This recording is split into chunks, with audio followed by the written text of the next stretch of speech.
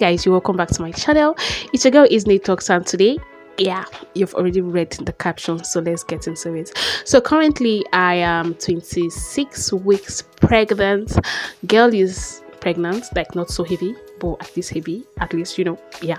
So the first thing i do is to go with my um face wash. See i applied this thing wrongly. Like the right way is to first put it on your palm then you lather and apply to the face. But please i'm pregnant. Forgive me. Forgive a girl. So i just had to you know just rub this on my face as if i was applying um a cream. Kind of oh god isn't it? Like I just applied this as if I was applying a cream on my face and I washed it off. So this is my clean face that is ready for my shave. So I get my aloe vera gel. This aloe vera gel, this is very inexpensive. I think it should be around 1800 naira. So I got this, apply a little bit on the side of my face that I want I wanted to shave first so that I'll have a smooth glide of the of the blade. So this also is a form of exfoliating my skin. I do this and it works for me. So if it do work for you you might um, want to try it even if you are not pregnant. Um, but what i'm trying to say is that this routine is very safe for pregnant women. Every of the products used here they are very safe for pre pregnant women because they have no active they are not you know harsh um they do not contain any kind of harsh chemicals. They are not organic nigerians. They are not. I'll show you sha. You see this thing on the blade? This is just the combination of the aloe gel and my hair. It is nothing gross rest rest it is not gross at all so i had to show it to the camera. So i just try to clean up the um, the place I've shaved and um, to make sure um, it is well shaved. And also after doing that sometimes I'll have to run through that area with my palm to be sure it's smooth.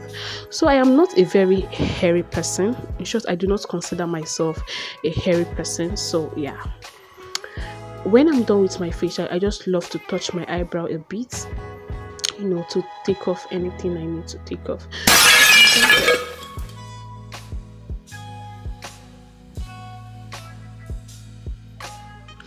we're back though. So i've taken my bath i think this was like two hours later like when when i gathered energy to come back.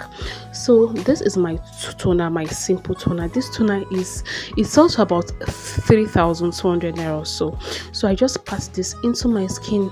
This is very gentle and this is also very safe. It's vegan it's cruelty free and all that good stuff so uh, after letting that dry for a bit this is my Tiams serum. I know it is finished. I know it is empty. It's very obvious. I went to price this thing and it was 9000 something. It was a, a serum i got in march for about 6000 something. And in october it was 9000 something. I was like no not me. So when this finishes unless so someone would get that for me but with my own money i'm, I'm not no no no I, I, I, won't i won't do that. I won't do that. Like i'll have to look for a more affordable option to go with. So i'm just trying to comb my hair in, in order to pass time. So this serum i've applied can seep in you know like it can seep well to my skin. And yeah. So that is my hyaluronic acid it's also from Dr. Rashel and this sells for about 1005 or 1008 depending on the store you're buying from. So I love to apply this on my skin because I love to give my skin a lot of moisture because I believe I I, I have a dry to normal skin so I go for a lot of moisture.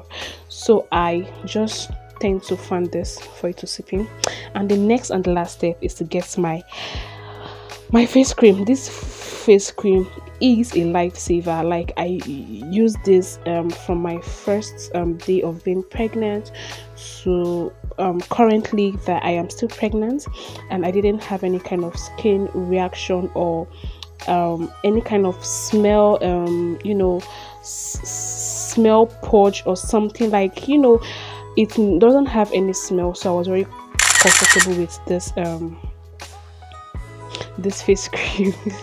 So yeah this is me just trying to show you my full self and yeah and my pregnant self you know.